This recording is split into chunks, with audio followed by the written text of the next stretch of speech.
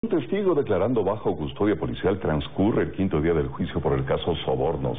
La Fiscalía pidió se aplique un artículo del Código Integral Penal relacionado con la detención por perjurio, informa Fabiola Santana. Adelante, buenas tardes. Te escuchamos.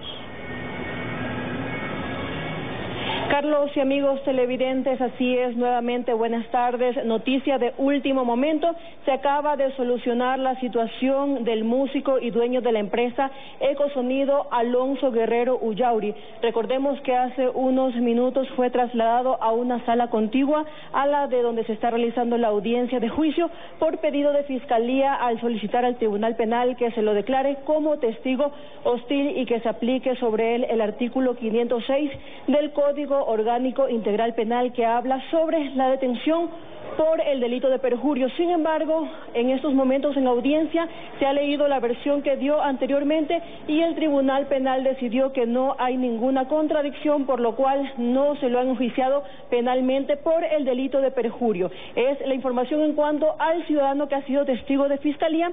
Por otra parte, también comentarles que este quinto día de audiencia de juicio en el caso Sobornos 2012-2016 se han dado algunas declaraciones reveladoras como la del ex asesor de Alexis Mera, Pedro Espinosa. Él compareció por videoconferencia desde Salamanca, España, y dijo que por pedido de su ex jefe acudió al edificio La Unión de la Presidencia a retirar cuatro sobres a cuatro que le entregó la ex asesora de Rafael Correa, Pamela Martínez.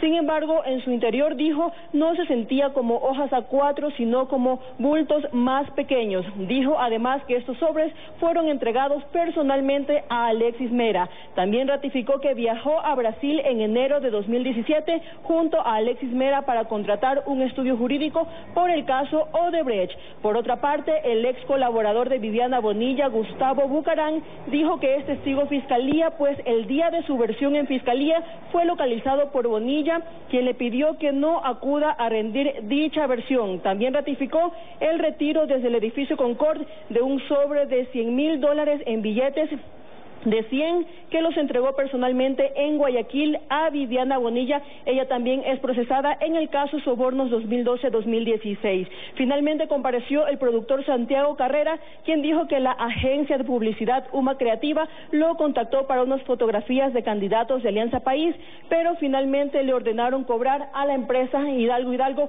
que por supuesto también es procesada en este, en el, el caso Sobornos 2012-2016. En estos momentos continúa en el octavo piso esta audiencia de juicio en el que se procesa al expresidente Rafael Correa y a otras 20 personas. Es la información que tenemos desde la Corte Nacional de Justicia y cuando son las 12 horas con 49 minutos regresamos con más información con Saskia. Buenas tardes.